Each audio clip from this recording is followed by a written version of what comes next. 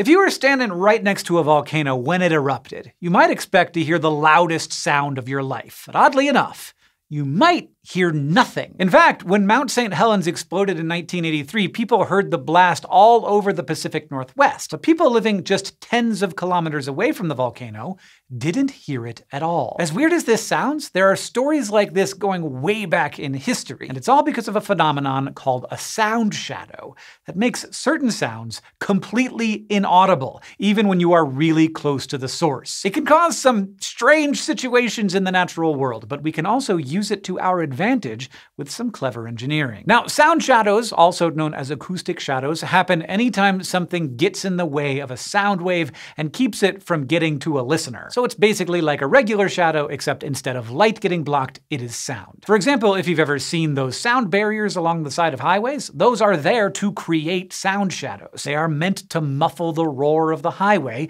that would otherwise spread to nearby neighborhoods. So the basic concept is pretty straightforward, but you don't necessarily need a wall or any physical object for that matter, to get a sound shadow. Other things can divert a sound wave too, like the wind, or even just the air. And that's where things get interesting. Some of the most famous instances of this happened during the American Civil War, when sound shadows are thought to have played a major role in several battles. Radio communication wasn't a thing back then, so generals relied a lot on the sounds of far-off battles to decide on their next move. But sometimes that strategy didn't exactly work out, like during the Battle of Seven Pines in 1862. This battle took place near Richmond, Virginia, when Confederate forces attacked Union forces trying to drive them back from the city. Three different generals coordinated the attack, and one of them, General Joseph Johnston, planned to send reinforcements as soon as he heard musket fire. He was waiting just three kilometers away, but hours went by and he didn't hear anything. Finally, he sent one of his officers to investigate,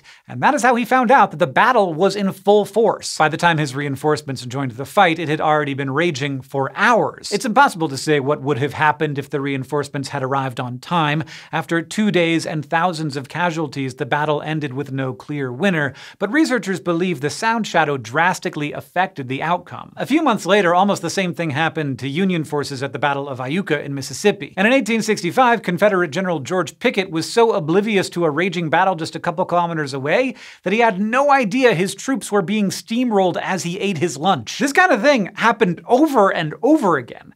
And by piecing together clues about the weather and the landscape, historians have been able to get an idea why these sound shadows happened. It turns out there were a few reasons. Sometimes the explanation was simple. There were hills in the way that absorbed the sound of battle. But in some cases, the sound of musket shots was deflected by the atmosphere. Sometimes this happened on windy days. When wind is blowing, the air at higher altitudes moves faster than air right above the ground. So if a sound is traveling upwind, the top of the wave will get slowed slowed down more than the bottom of the wave. As a result, the whole wave will begin to curve upward almost like it's passing through a lens, and it will go right over the heads of anyone sitting on the ground. Meanwhile, if the sound is traveling downwind, the opposite happens and the wave gets bent toward the ground. That can make sounds extra loud if you happen to be standing right where the sound wave is striking the ground, but as the wave bounces off the ground, it creates a sound shadow underneath it, meaning that someone just a little farther away might not hear the sound at all. A similar thing can happen during an atmospheric phenomenon known as a temperature inversion, which happens whenever warm air sits above cool air. This often happens on clear nights when the ground cools down quickly and lowers the temperature of the air in contact with it, but it can also happen in other circumstances like when cool air sinks into valleys and just gets trapped by the warm air on top. Since sound travels faster through warm air than cool air, a temperature inversion will make the top of the wave curve toward the ground, creating the same effect as a steady wind. So thanks to physics, a little wind or some funny atmospheric conditions can carry away the sounds of an entire battlefield. Sound shadows don't just mess with soldiers on the battlefield, the same phenomenon can create quiet zones around exploding volcanoes and bombs and other loud noises. And sometimes sound shadows also happen in the sea. As ships travel through the water, they typically make a lot of noise. You might expect marine animals like whales and manatees to hear them coming and get out of the way, but too often they do not. And it's not their fault. Researchers have learned that one big reason for this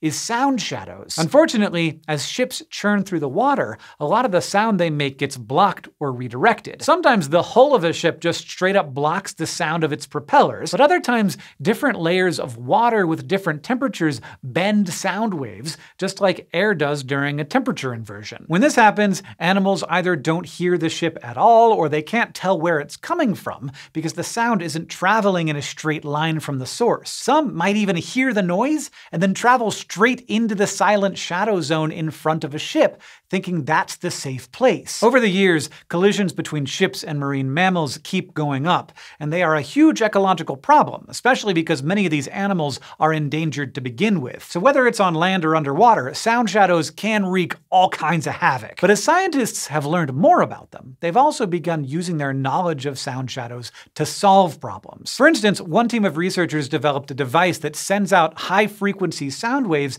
into the sound shadows in front of boats so that manatees will be able to hear them. They've also modeled the sound shadows around various ships so that they know where the sound needs to be projected. It's a pretty simple solution, but technologies like these could prevent collisions between marine mammals and ships, helping protect marine ecosystems. Now here on land, we also sometimes want to eliminate sound shadows, and a whole other group of people trying to do that are acoustical engineers who design theaters and performance halls. In any space like this, where you have a bunch of seats arranged around a stage, the sound you hear as an audience member usually arrives in two different ways. There's the sound that comes directly from the performers themselves, and then there's the sound that bounces off the ceiling and walls. If the space is designed properly, those sounds will arrive close enough together that they reinforce each other. If it's done wrong, you get an echo, but if it's done right, it all comes to you at the same time and sounds amazing. That is what makes the sound in a concert hall so powerful. But if you're sitting behind a pillar, certain wavelengths of sound coming from the stage will be blocked, creating a partial sound shadow. You'll still hear some sound, but it won't be the same full experience as it is for someone with a clear view of the stage. Likewise, if you're sitting under a balcony, you might have a perfect view of the stage, but the sound bouncing off of the ceiling will be blocked, creating a sound shadow around you. So as acoustical engineers design these spaces, they have to use geometry in a way that minimizes sound shadows as much as possible. But outside of concert halls, we don't always want to get rid of sound shadows. Sometimes we want to create them. Because today, there is so much noise in our world. There's the roar of the highways, the clanking of construction sites, the blaring of car horns, in lots of places, it's just constant. And all this noise isn't just annoying, it also takes a serious toll on our mental and physical well-being. So just like the architects of concert halls use geometry and physics to minimize sound shadows, some urban planners are using these same principles to maximize them. One main way they can do this is by setting up physical barriers that sit between people's homes and nearby highways or industrial areas. If there's room for it, a hill or green space full of trees can make an excellent barrier. Both of these will absorb a bunch of sound. Also, it's nicer to look at than the walls, if you ask me. But that's not always possible, especially because most of the time urban planners aren't designing an ideal community from scratch. They're trying to improve something that already exists. And that's where they can use walls, like those sound barriers alongside highways. The cool thing about walls is they don't just act like plain old shields that reflect or absorb sound, they also create sound shadows by diffracting or bending sound waves over them. The path a sound wave takes over a barrier depends on where the sound wave is coming from and how high the barrier is, and different wavelengths of sound diffract by different amounts. But overall, the barrier forces the sound wave to take a longer path, casting a sound shadow beneath the diffracted wave. So if you need to create a pocket of quiet near a noisy area, a wall can really help. Now all of these barriers can be more or less effective depending on the weather. Winds and temperature inversions can change the path of sound waves, which changes how they interact with barriers. But in practice, they can go a long way toward creating some quiet in our very noisy world. In the past, sound shadows often caught people by surprise, like Civil War generals or witnesses of volcanic explosions.